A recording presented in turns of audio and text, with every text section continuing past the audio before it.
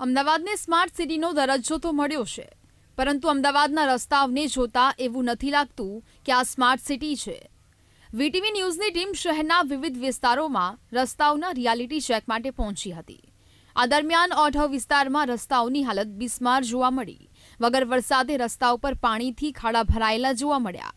અને આ રસ્તા પર ખાડા અને તે પણ પાણીથી ભરાયેલા હોવાથી વાહન ચાલકો પરેશાન થઈ ગયા છે. આવા જ કેટલા લોકો સાથે અમે વાત પણ કરી. તો સાંભળો, રોષ ઠાલવતા શું કહે છે?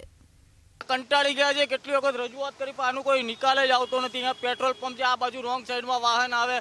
તમે પાંચ વાગ્યા પછી અહીંયા જુઓ કેટલો ભીડ ભડાકો હોય છે. હમણાં થોડીક વાર તમે ઊભા રહો, અડધી કલાકમાં ટ્રાફિક જામ થઈ જાય આને લઈને. અમે રોંગ સાઈડમાં વાહન આવે, ત્યાં પેટ્રોલ પંપમાં જાય, ત્યાં બી કોઈ નિકાલ નથી.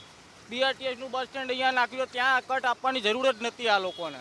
પણ હવે આમાં શું કરવાનું? આમાં પબ્લિક આમાં પીસાઈ રહી છે. બહુ ખરાબ પરિસ્થિતિ છે. છોકરાઓને લઈને નીકળવામાં બહુ તકલીફ પડે છે અને બીક લાગે છે કે છોકરાને ક્યાં વાગી ના જાય રોડ ઉપર આવી રીતે નીકળે વરસાદની અંદર સાધનનું નુકસાન થાય પોતાનું નુકસાન થાય.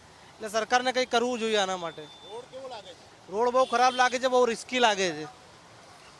આના માટે વિચારવું જોઈએ સાહેબ. અમે અમારો કિંમતી વોટ આપીને સરકારને લાવીએ છીએ અને સરકાર આવું બધું જોતી નથી. એના માટે થોડું સરકાર કરે તો સારું છે. કારણ કે નાના નાના બાળકો છે રોડ ઉપર જાનથી જવા માટે થોડી વ્યવસ્થા કરે તો સારું છે સાહેબ. માત્ર ઓઢો વિસ્તારમાં જ આવી હાલત નથી.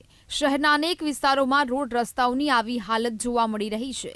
અને રોજ અનેક લોકો ખરાબ રસ્તાઓને કારણે અકસ્માતનો ભોગ બને છે.